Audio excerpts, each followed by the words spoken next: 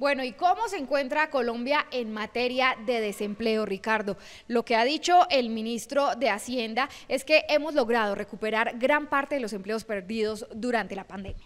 Pero como lo vimos en la nota anterior, las mujeres han sido las más perjudicadas en esta situación porque han perdido terreno en ese sentido. Es decir, que hacen falta, hacen falta tomar algunas medidas para que esta cifra baje. Y es así como Ángela Patricia Sánchez, la representante a la Cámara, viene buscando a través de un proyecto de ley también buscar una solución concreta para ellas. Veamos de qué forma lo plantea la representante. Mediante la ley, las mujeres harán parte de sectores económicos que han contado con baja participación femenina, a la vez que se crean condiciones que mejoran su calidad de vida, disminuyen la brecha de género y fomentan el acceso a la educación. La ley 2117 consiste en modificaciones a la ley 1429 del 2010 y a la ley 823 del 2003, donde estamos buscando fortalecer la igualdad, la capacitación y productividad de las mujeres en sectores donde han tenido históricamente baja participación, con un salario justo que les dé un mejor estilo de vida. Pero también estamos buscando disminuir la brecha salarial entre hombres y mujeres y por supuesto que tengan una educación sin ningún estereotipo que les permita prepararse y así trabajar en dichos sectores y crear empleo para otras mujeres. El gobierno también fortalecerá el acceso de las mujeres al trabajo mediante programas que garanticen la no discriminación y la aplicación del principio de salario igual.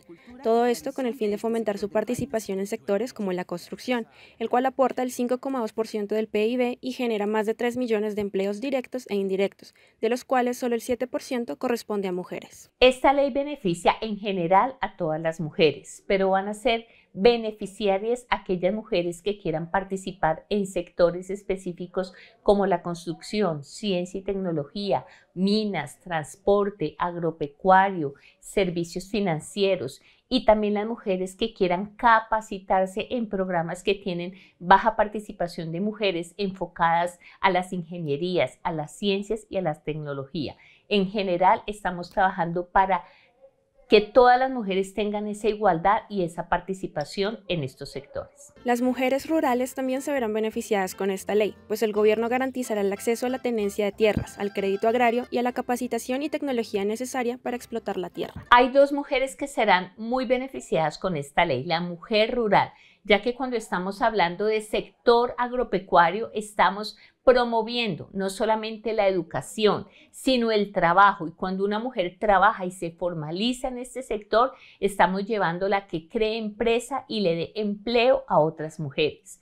Pero también la mujer cabeza de familia, ya que habrá un criterio de desempate, es decir, cuando haya una convocatoria pública que ofrezca capital semilla, presemilla en temas de emprendimiento y haya un empate, la mujer cabeza de familia podrá aplicar este criterio de desempate y ganar así la convocatoria. El gobierno ya viene desarrollando iniciativas como Construimos a la Par y Bogotá el mejor hogar para las mujeres, a través de los cuales se busca fortalecer las capacidades de estas para que accedan laboralmente al sector de la construcción.